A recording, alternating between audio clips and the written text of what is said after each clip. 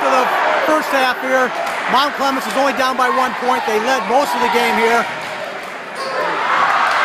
Fast pass, fast-paced game here, folks.